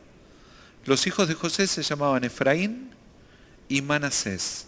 El pueblo de Israel tiene 11 tribus y dos medias tribus, la media tribu de Manasés y la media tribu de Efraín, porque un día va José delante del padre, que se llamaba Jacob, y Jacob en el versículo 3 de este capítulo 48 de Génesis le dice a José, el Dios Todopoderoso se me apareció en luz en la tierra de Canaán y me bendijo con esta promesa, te haré fecundo, te multiplicaré y haré que tus descendientes formen una comunidad de naciones. Además a tu descendencia le daré esta tierra como su posesión perpetua. La bendición sobre Abraham estuvo y está sobre cada generación. Porque no solo lo malo, puede visitar a la siguiente.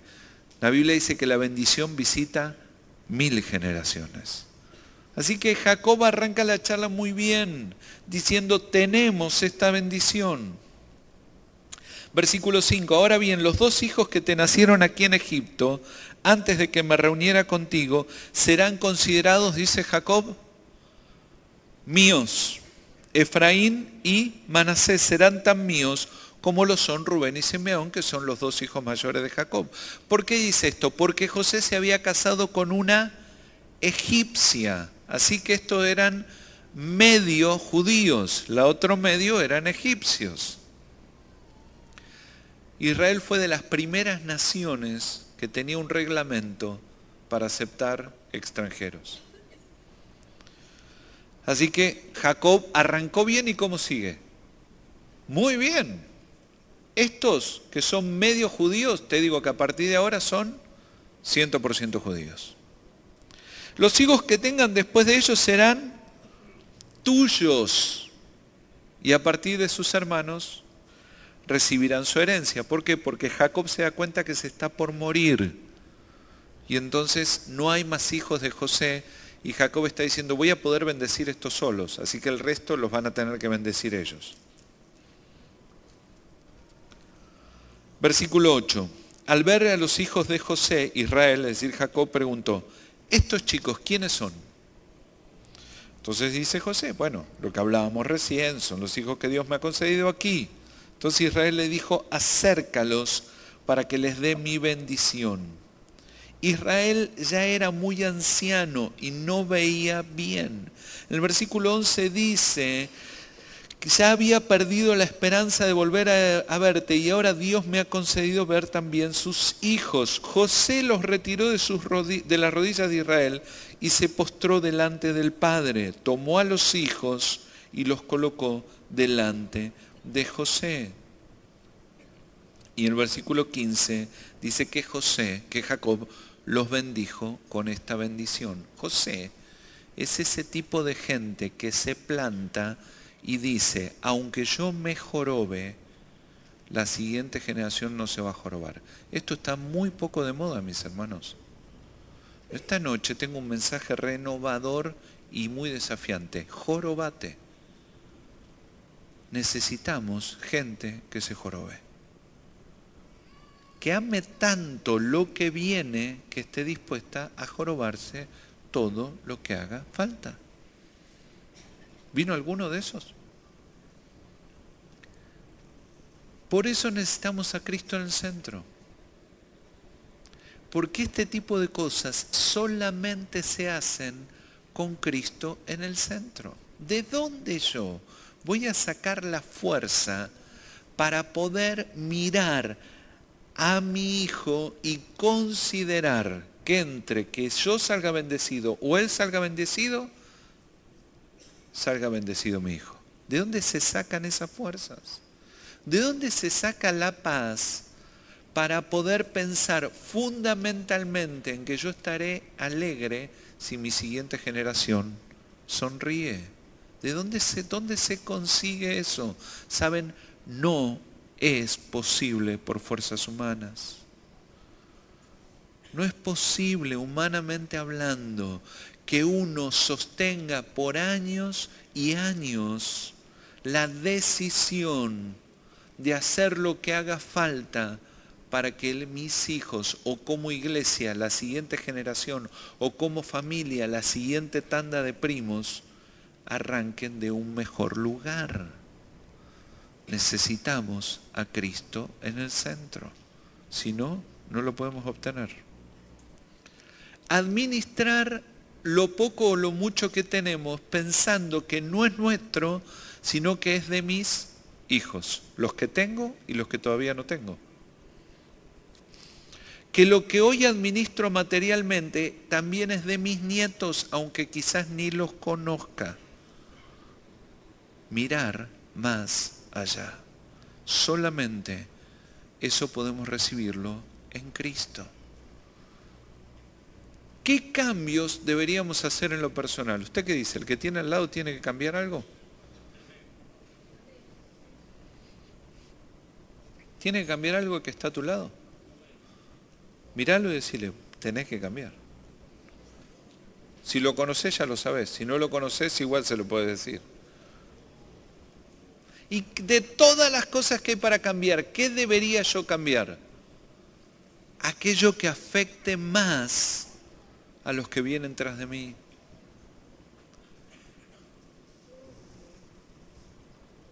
Entregarnos por el otro. Los cristianos hacen esas cosas raras. No piensan en sí mismos, sino piensan más allá. Qué es triste cuando un padre toma decisiones que le hacen repetir a sus hijos lo mismo que él sufrió. Eso es triste. ¿Podemos ser libres de esos? Podemos. Podemos. Podemos. En Cristo podemos ser libres de eso. Nosotros en Cristo podemos liberarnos de ese límite. Por favor, declare esto conmigo todo, no, tan lástima, ¿eh? todo lo puedo en Cristo que me fortalece. No sé cómo voy a hacer, pero se puede. No sé bien para dónde es, pero se puede.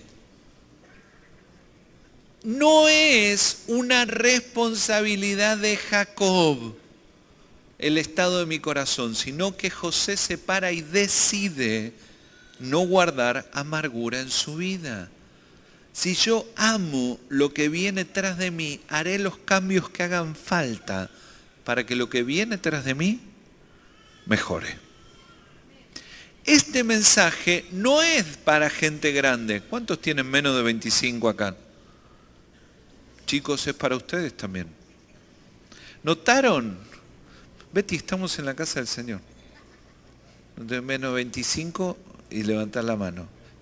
estamos en la iglesia. No es un mensaje de gente grande, es un mensaje para gente joven como Betty. Es un mensaje para cada uno de nosotros. ¿Notaron que cuanto más jóvenes somos, más observadores somos de nuestros padres? ¿Se dieron cuenta de eso? ¿Quién es tu analista más eh, observador? Tu hijo, tu hija. Nosotros nos consolamos, decimos, no entiende, es muy joven. Macana, entiende todo, ese es el problema. Así que también es un mensaje para vos que tenés 20. También para vos es la responsabilidad de que lo que ves que no va a edificar o lo que te das cuenta que te complica el camino, plantarte y decir, ¿cómo yo voy a hacer para que mi siguiente generación no lo pase? Esto va completamente en contra de nuestra cultura, mis hermanos. Nosotros somos un país que piensa en mañana. Y somos hijos de un Dios que piensa en lo eterno. Algo de eso se nos tiene que pegar. Pensar en lo eterno. Pensar más allá. Viene alguien atrás tuyo. Hay una historia de una capilla en Alemania, hecha en el siglo XVI, con un tipo de alerce que cuando lo hicieron tenían 200 años. Y mm, con el tiempo el techo tuvo un problema y entonces contrataron a un arquitecto para que lo repare, pero el hombre les explicó que era un tipo de madera tan asentada y tan vieja que no había manera de repararlo, que había que cambiar el techo. Y entonces buscando unos papeles viejos de la iglesia, confiando que en algún lado estaban los planos, encontraron un título de propiedad que tenía como 200 años, de una gente de la iglesia que había comprado una sectaria, se había plantado a Lerces 200 años antes, porque pensaron que algún día habría que reparar el techo. Y fueron a ese lugar y efectivamente existía el bosque, efectivamente estaban los árboles que tenían 200 años, los cuales se cortaron, se dejaron secar y fueron la reparación del techo. Alguien juntó plata pensando que un día alguien que no iban a conocer iba a necesitar reparar un techo que ellos ya no iban a ver. Nosotros conocemos al Dios de las generaciones que piensa en mí y en lo que viene tras de mí. Los varones pensamos mucho en dejar a nuestros hijos algo material, pero la Biblia y la vida dicen que lo que nos cambia es lo que dejamos en lo emocional y en lo espiritual. La vida de las personas se marca más por lo que pasa en el corazón que por lo que pasa en el bolsillo. Las personas crecen o retroceden más por lo que les pasa adentro que por lo que les pasa en la billetera. Y ojalá Dios te permita dejarle a tu hijo las riquezas del mundo. Pero a fuerza de elegir, dejarle enriquecido el corazón. Generaciones que eligen sacrificarse, que eligen cambiar, que miran al entorno, miran a su cónyuge y dicen, no lo soporto más, no la soporto más. Seguramente debes tener razón, pero aún sobre eso Dios puede obrar para que yo pueda tener victoria. Mi Biblia sigue diciendo, todo lo puedo en Cristo. Y yo no hablo de durar, hablo de tener victoria. No hablo de comerme todo y practicar la paciencia cristiana en términos de resignación. Hablo de tener victoria. Hablo de amar al otro, de dar la vida por el otro. Ahora, me tengo que desvestir para poder vestir lo nuevo. La ropa nueva, la parábola del hijo pródigo dice que Dios la da. La ropa vieja se la saca el hijo que estuvo en medio de los chanchos. Le quiero pedir a Dios en esta noche, le quiero pedir al Espíritu Santo que nos guíe, pero aparte creo que algunos aquí necesitan hacer esta oración. Creo que muchos aquí dicen, yo sé qué es ropa vieja en mi vida. Esta noche tenés que sacártela. No te podés ir de aquí con vestuario viejo. Tenés que sacarte la ropa vieja. De chico me cargaban y me decían que era adoptado, porque no me parecía nadie en mi familia. Y yo siempre me defendía diciendo que me parecía mi tío Luis, con el cual no tenía ningún parentesco de sangre, pero por una casualidad nos parecíamos. Cuando él falleció, era médico y ligué parte del guardarropa, especialmente las cosas que estaban sin usar, pero me quedé con un traje que él a veces usaba. Y en un casamiento que tuvimos al poco tiempo, mi tía se desmayó porque cuando me vio de espalda pensó que era el marido.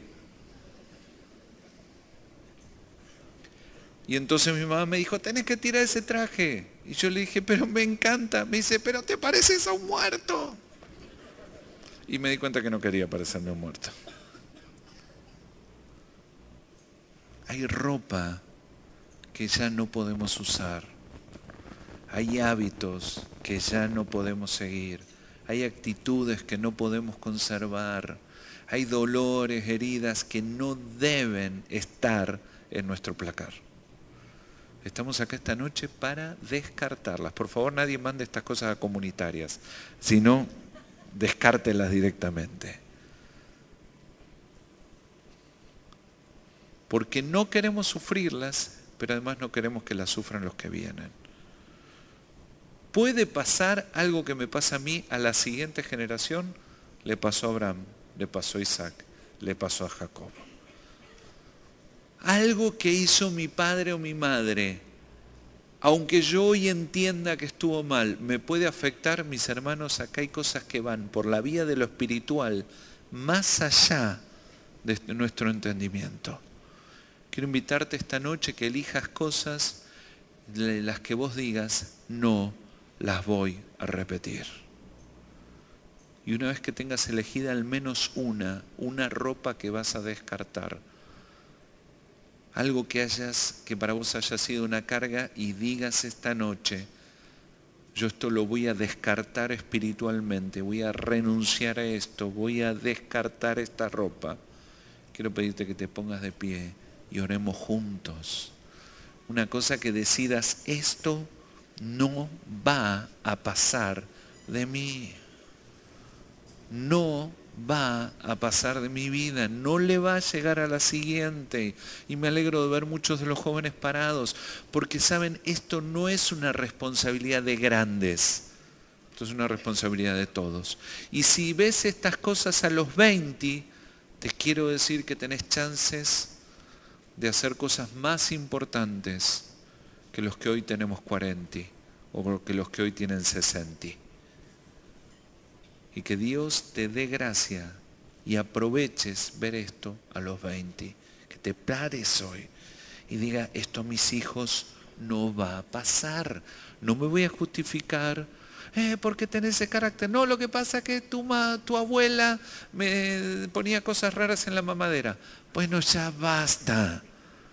Plantate esta noche y descarta lo que no es bueno para tu vida.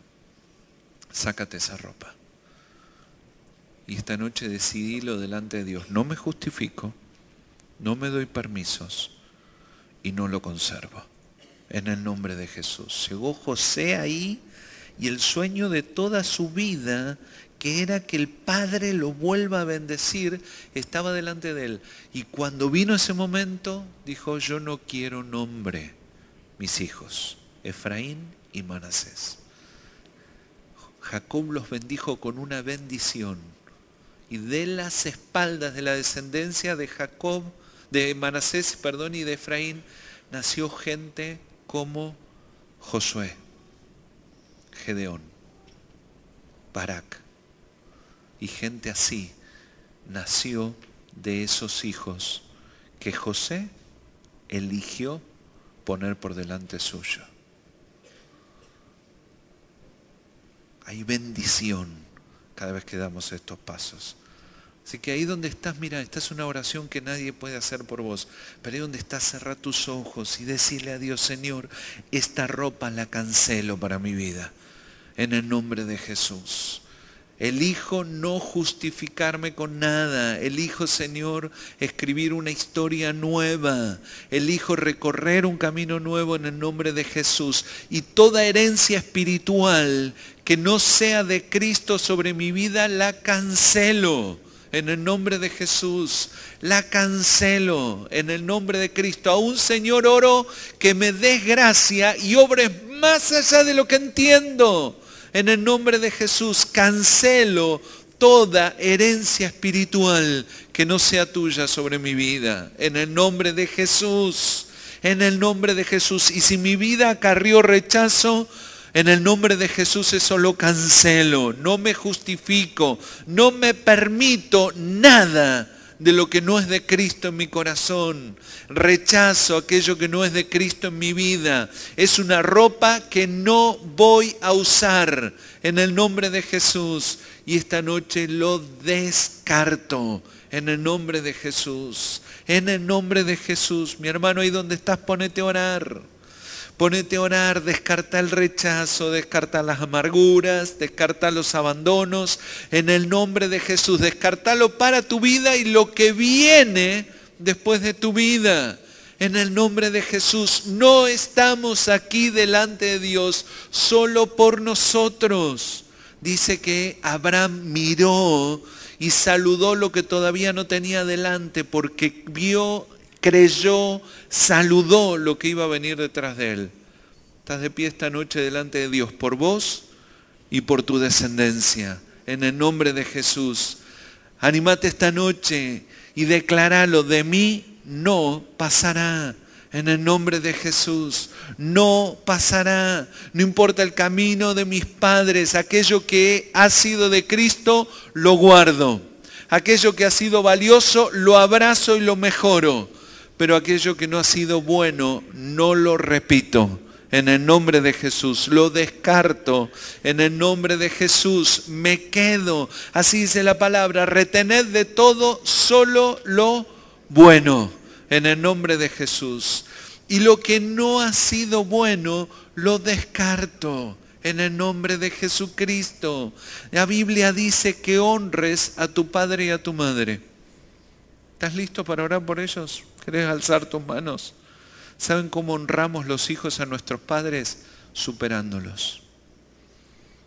Honra a tus padres en esta noche y decirle a Dios que te ayude a superarlos en el nombre de Jesús.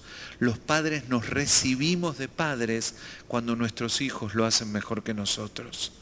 Así que decirle a Dios esta noche, ayúdame Señor a que yo honre a mis padres que aquello en lo que han sido buenos, yo lo haga todavía mejor.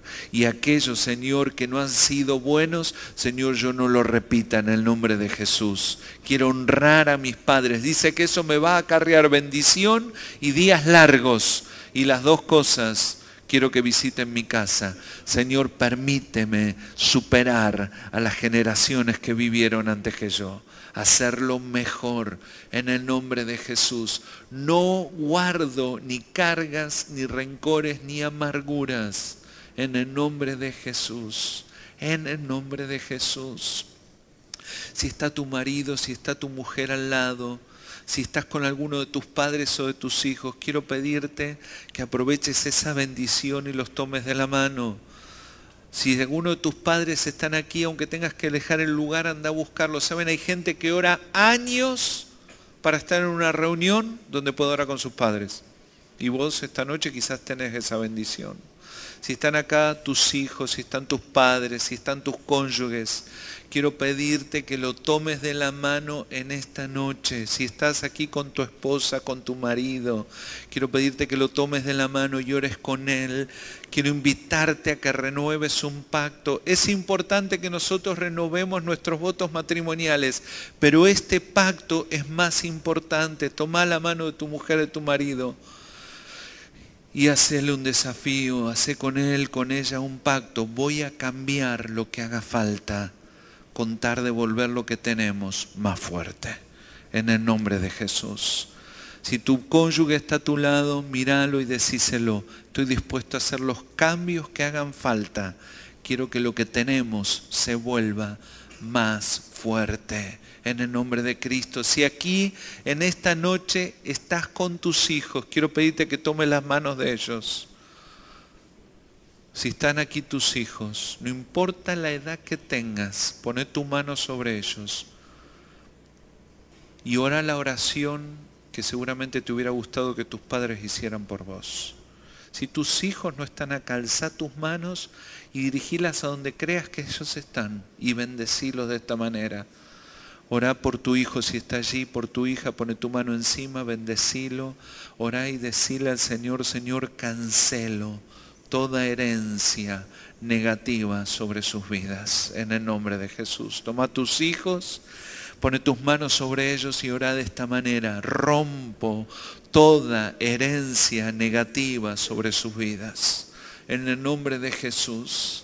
En el nombre de Jesús, que lo que no es de Cristo, declaro que sobre ellos no llegará. En el nombre de Jesús. En el nombre de Jesús. Si estás acá con alguno de tus hijos, un pacto importante.